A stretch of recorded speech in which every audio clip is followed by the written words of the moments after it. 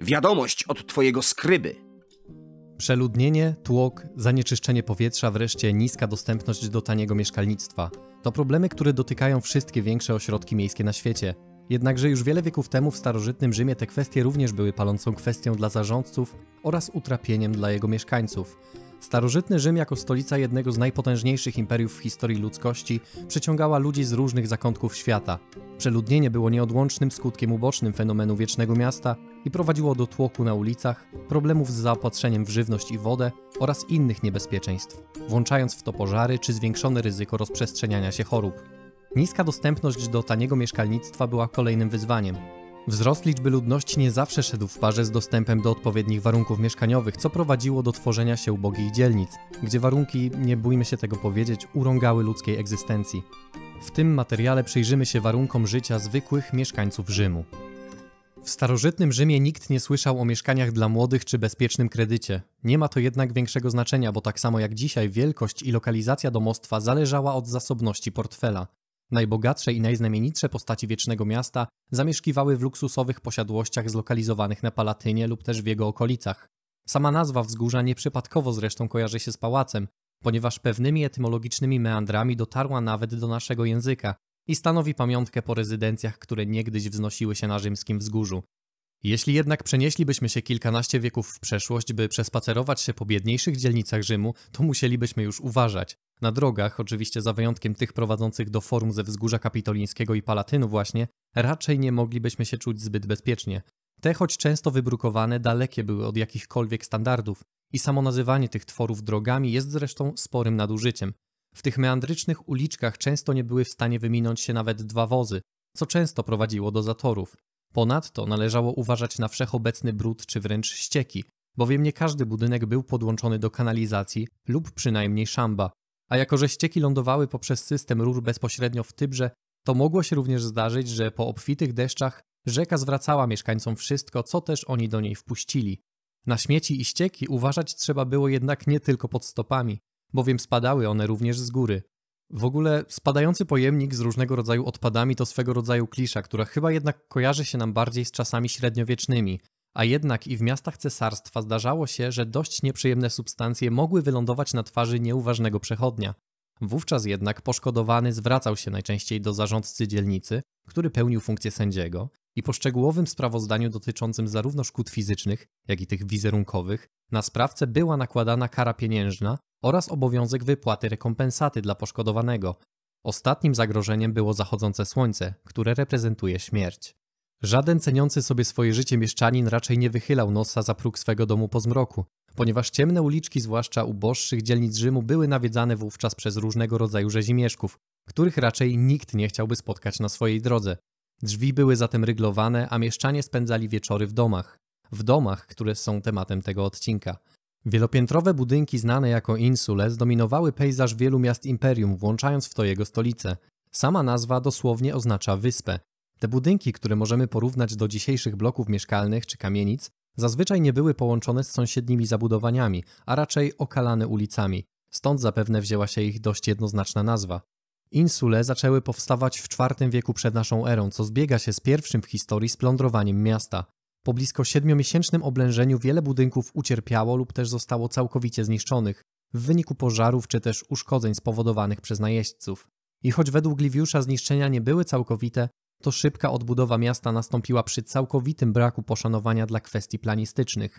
Zaniedbano więc nie tylko kwestie ulic, których siatka stała się chaotyczna, a one same wąskie i niewygodne w użytkowaniu, ale także systemy kanalizacyjne, które nie były doprowadzane do wszystkich nowo powstających zabudowań. Insule budowane w Rzymie były zdecydowanie za wąskie jak na możliwości inżynieryjne oraz przede wszystkim jakość użytych materiałów przez budowlanych spekulantów. Ich powierzchnia oscylowała między 300 a 400 metrami kwadratowymi, a więc biorąc pod uwagę ich wysokość przekraczającą nierzadko nawet 20 metrów, bywały one nieraz wyższe niż dłuższe. Witruwiusz w I wieku nie widział jeszcze zagrożenia w rosnących zabudowaniach, choć przewrotnie przestrzegał przed ich dalszą rozbudową. Inżynier zwracał uwagę na cienkie ściany zewnętrzne, które, co zaskakujące według prawa rzymskiego, nie mogły przekraczać półtora stopy, a więc 45 cm, co jest wartością bardzo małą, biorąc pod uwagę wysokość tych budynków. Przepisy były jednak tworzone z myślą o budynkach maksymalnie dwukondygnacyjnych, a insule były nierzadko kilkupiętrowe. Jeśli dodamy sobie do tego stropy wykonane w technice zwanej z japońska jako tako, czyli z przeplatanych na prędce cienkich drewnianych belek oblepionych następnie gliną z domieszką gruzu czy piasku, to mamy gotową receptę na domek z kart, a w zasadzie domki z kart, których było w Rzymie tysiące. Grzebały one nieraz swoich mieszkańców, rozpadając się ze względu na liche materiały i swoje niedoskonałości konstrukcyjne. Nietrwałość tych budynków nie umknęła nawet uwadze poetów w osobie Juvenalisa, który w swoich satyrach zwraca uwagę na nieustanne niebezpieczeństwo i przestrach mieszkańców przed budynkami, które choć zapewniają schronienie, mogą w jednej chwili stać się powodem ich zguby.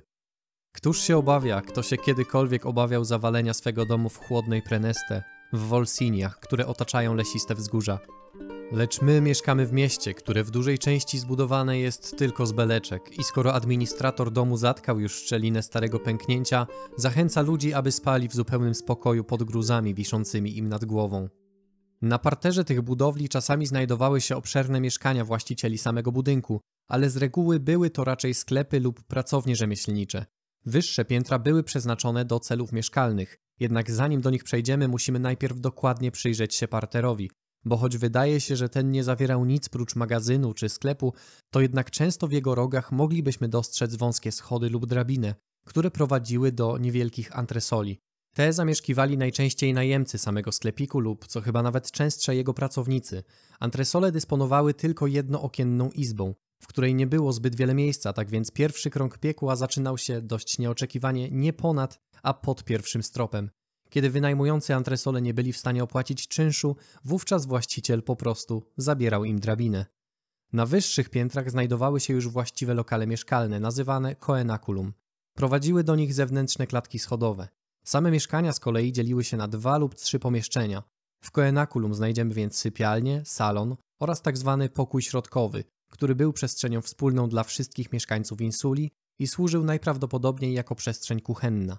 Mieszkania te były pozbawione najbardziej podstawowych wygód, takich jak bieżąca woda, nie wspominając już o centralnym ogrzewaniu, które przecież znajdowało się nierzadko w prywatnych posiadłościach lub w budynkach użyteczności publicznej. Wszystkie te mieszkania były wynajmowane lokatorom w następujący sposób.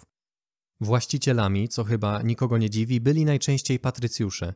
Ci jednak, nie chcąc osobiście trudnić się poszukiwaniem nowych lokatorów, wynajmowali całą nieruchomość jednej osobie ryczałtem, za 3 czwarte realnej wartości wynajmu. Właśnie na tych administratorów spadał obowiązek pozyskiwania nowych lokatorów, a tym samym także obowiązek pobierania od nich czynszu. To jednak nie koniec. Nieruchomość musiała być przecież utrzymana we względnej czystości oraz regularnie reperowana. I było to zajęcie na pełen etat, i to właśnie administratorzy windowali ceny najmu nieruchomości, a byli zyskowni tym bardziej, ile też Patrycjusz, który był właścicielem, nie orientował się w realiach rynkowych i aktualnych cenach wynajmu, Sami mieszkańcy konkretnych mieszkań nierzadko wynajmowali pojedyncze pomieszczenia innym ludziom, aby zminimalizować wysokość komornego, która nieustannie wzrastała. Im wyższe piętro, tym większe zagęszczenie ludzi, ponieważ wynajem mieszkań na wyższych kondygnacjach był stopniowo coraz tańszy. Lokatorzy, którzy znajdowali się na poddaszu, byli chyba w najgorszym położeniu, nie tylko ze względu na upał w lecie oraz tłok, ale także przez postawienie swojego życia na szali obok możliwości taniego mieszkalnictwa. By w pełni zrozumieć, czym tak naprawdę były insule, które najpierw jako zaledwie dwupiętrowe budynki zaczęły wyrastać jak grzyby po deszczu w Rzymie i innych miastach, przyjrzyjmy się ich ewolucji. Po wspomnianym najeździe pierwszy raz w historii miasta jego organiczny rozwój został zaburzony. Stało się tak dlatego, że decyzją Senatu Rzym został otoczony tzw. Tak murem Serwiusza. Niezależnie od stanu, wszyscy mieszkańcy chcieli lokować swoje domostwa wewnątrz tychże umocnień. Sprawiło to, że zamiast budować kolejne domostwa poza murami, mieszkańcy wybierali raczej kolejne piętra coraz wyższych kamienic. Już 150 lat później, czyli u końca III wieku, Liviusz w swoim dziele Ab Urbe Condita przytacza omen, który miał zwiastować wojenną ofensywę Kartagińczyków. Omenem był byk, który wspiął się po schodach na trzecie piętro jednej z tysięcy insuli, które w tym okresie zupełnie już mieszkańcom Rzymu spowszedniały. Kolejne wieki przynosiły dalszy wzrost tych zabudowań. Trzeba było jednak kolejnych setek lat i nastania cesarstwa, by ktoś wreszcie przyjrzał się problemowi rozrastających się pokracznych czynszówek. I choć Oktawian August czy Trajan prawnie ograniczali ich wysokość odpowiednio do 20 i 18 metrów, to jednak potrzeba była niż to prawo, silniejsza.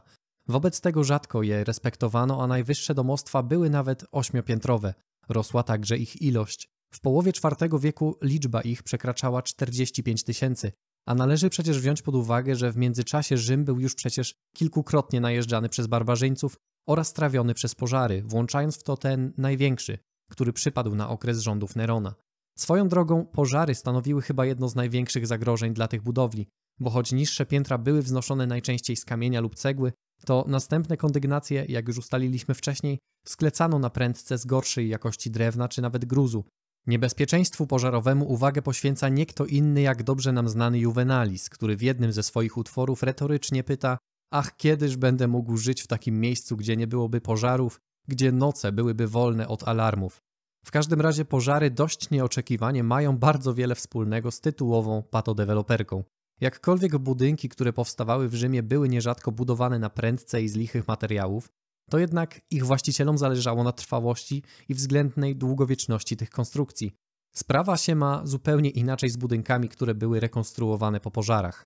Te zdarzały się przecież często, zwłaszcza na wyższych kondygnacjach, gdzie zapruszony ogień czy to z kominków, czy z olejowych lampek trafiał wprost na ściany, nazywane przecież plecionkami. Pożary były częste i dotkliwe, natomiast o Państwowej Straży Pożarnej do I wieku w Rzymie jeszcze nie słyszano. Rynek nie lubi próżni, zatem tę lukę wypełnił Marek Licyniusz Crassus, tworząc swoją własną organizację, która była połączeniem Straży Pożarnej z dość agresywnym towarzystwem ubezpieczeniowym. Jego działalności przyjrzał się nie kto inny jak Plutarch, który zdaje nam relację, jakiż to pomysł na biznes wymyślił sobie rzymski polityk. Crassus nie odmawiał sobie ani przejmowania, ani kupowania tego mienia. Przy tym widząc ściśle z Rzymem związane nieszczęścia, pożary, zapadanie się budynków z powodu ich obciążenia i zagęszczenia, zakupił niewolników, architektów i budowniczych, a mając ich ponad 500 wykupywał mienie po pożarach lub sąsiadujące z pożarami, porzucane za niewielką cenę przez właścicieli z powodu obawy i niepewności. W dużej więc mierze Rzym jemu zawdzięczał swe powstawanie. Mając tylu pracowników budowlanych, niczego jednak nie budował dla siebie, poza własnym domem, lecz mawiał, że kto buduje tylko dla siebie samego, marnuje się, choć nie ma przeciwników. Crassus wyszkolił zatem 500 ludzi podzielonych na brygady pożarnicze, rozbiórkowe oraz budowlane, a następnie wyczekiwał pożarów, które zdarzały się przecież nader często. Kiedy w mieście rozgorzał ogień, udawał się on na miejsce wraz z grupą ludzi, by następnie po znacznie zaniżonej cenie nabyć płonący budynek. Jego ludzie wówczas albo taką insulę gasili, albo też zabezpieczali jej pozostałości, po czym na jej zgliszczach budowali jeszcze bardziej lichy budynek. Kiedy owa wątpliwa renowacja została zakończona, czasem właścicielowi proponowano ponowne jej odkupienie. Częściej jednak oferowano jedynie dzierżawę całego budynku. W ten sposób Crassus stał się posiadaczem wielu nieruchomości w Rzymie i prekursorem nie tylko patodeweloperki, ale też jednym z pierwszych entuzjastów dochodu pasywnego. Moje materiały powstają dzięki patronom. Dzisiaj serdecznie dziękuję Danielowi oraz Przemkowi. Jeśli ten lub inne materiały Cię zainteresowały, to rozważ napisanie komentarza czy zasubskrybowanie kanału.